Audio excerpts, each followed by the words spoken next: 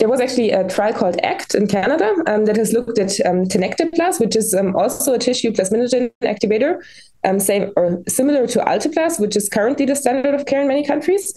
Um, but tenecteplase has a higher fibrin specific specificity, so um, it's more targeted, so to speak, or it targets the, the thrombus better. Um, and that has been shown to be superior in stroke patients in the large Canadian trial. Um, and so, for instance, in Canada, um, TNK or tenecteplase is now the standard of care. And I think other countries probably will switch over sooner or later as well. And there's another advantage to, to tenecteplase, for instance, um, the fact that you can give it as a bolus. So it's done in 10 minutes, and you can then leave the room and um, pull out the IV line Whereas um, Alteplase, which is the current standard of care in many countries, um, needs to be um, infused over one hour. So um, that takes more time, of course.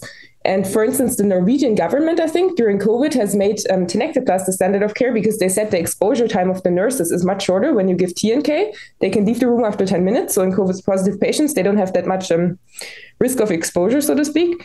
Um, and it's just it's just faster. Imagine you have to transfer the patient from a primary stroke center to a comprehensive stroke center, then you have the drip running while transporting the patient, which is more complicated as opposed to TNK, where you can just pull out the, the IV line after 10 minutes and then transfer the patient. So that's another advantage. Um, and then there are some some experimental um, drugs, um, for instance, um, DNases, um, who are able to kind of dissolve or break up different components of the clot that are not tackled by um, TPA.